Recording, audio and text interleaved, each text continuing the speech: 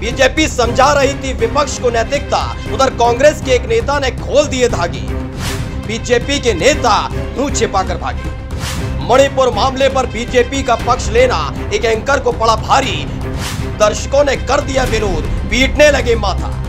हंगामा होता देख भाग खड़ा हुआ सरकारी समर्थक। जान बचाना हो गया मुश्किल। मणिपुर पर लोगों का गुस्सा फूटा लाए। इतनी दुर्दांत घटना होती है। मणिपुर के अंदर। और उसके बाद ये कहा जाता विपक्ष सरकार सदन को नहीं चलने देना चाहता। शर्म आनी चाहिए देश के प्रधानमंत्री को।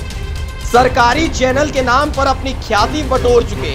एक चैनल ने बड़ी फुर्सत के साथ विपक्ष को घेरने के लिए जमजमाती चमचमाती लाइट के बीच एक प्रोग्राम आयोजित किया। फुल तैयारी थी कि भाई जो काम साहेब और उनके कारिंदे सड़क से लेकर संसद तक नहीं कर पा रहे हैं, वो काम हम करके दिखाएँगे। डिबेट शुरू करेंगे। मणिपुर से लेकिन खींच कर ले जाएँगे पश्चिम बंगाल छत्तीसगढ़ और राजस्थान। इतनी दुर्दांत घटना होती है मणिपुर के अंदर और उसके बाद ये कहा जाता विपक्ष सरकार सदन को नहीं चलने देना चाहता। शर्म आनी चाहिए देश के प्रधानमंत्री को। देश का दुर्भाग्य है एक कायर प्रधानमंत्री देश को मिला और एक कायर सरकार मिली एक निकम्मी सरकार। साहिब की चरण वंदना में कितना डूबा हुआ था चैनल उसका प्रदर्शन उसने ऊपर लिखी हुई लाइन से कर दिया। जिसे चिंता बस इस बात की थी कि साहिब को संसद में बोलने क्यों नहीं दे रहे? जो अपनी पीठ थपथपाने के लिए तैयार किया था साहिब ने खर्रा उसे विपक्ष पढ़ने क्यों नहीं दे रहा? लेकिन जैसे ही डिबेट शुरू हुई कांग्रेस के प्रवक्ता ने धागे खोल कर रख प्रधानमंत्री को। आप अपना बूथ मज़बूत करते घूम रहे थे और मणिपुर जल रहा था। मेरा बूथ सबसे मज़बूत और मैं एक अकेला सब पर भारी।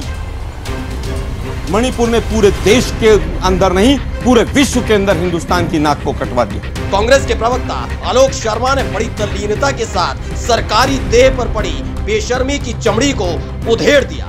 बताया कि मणिपुर पर साहेब चुप्पी साधे रहे और आरोप विपक्ष पर कि वो संसद चलने नहीं देना चाहता। इतनी दुर्दांत घटना होती है मणिपुर के अंदर और उसके बाद ये कहा जाता विपक्ष सरकार सदन को नहीं चलने देना चाहता। शर्म आनी चाहिए देश के प्रधानमंत्री को।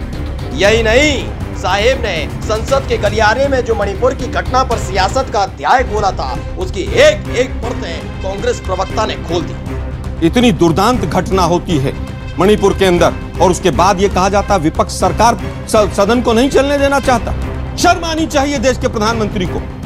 आप अपना बूथ मज़बूत करते घूम रहे थे, और मणिपुर जल रहा था। मेरा बूथ सबसे मज़बूत, और मैं एक अकेला सब पर भारी मणिपुर ने पूरे देश के अंदर नहीं पूरे विश्व के अंदर हिंदुस्तान की नाक को कटवा दिया। वही पीछे बैठे दर्शक भी तालियाँ बजाने लगे कि कम से कम आज मौका मिला गाल बजाने वालों को तालियों से जवाब देने का। तो जैसे जैसे कांग्रेस के प्रवक्ता बीजेपी की एक एक हरकत को खोल रहे थे वैसे वैसे जनता भी खोलकर साथ दे रही थी कि बर्दाश्त नहीं होगा। देश के प्रधानमंत्री की नींद जब टूटी दो दिन पहले जब सुप्रीम कोर्ट ने 10 बजे उसका संज्ञान ले लिया 11 बजे आए और आकर भी विपक्ष पर ठीकरा फोड़कर चले गए।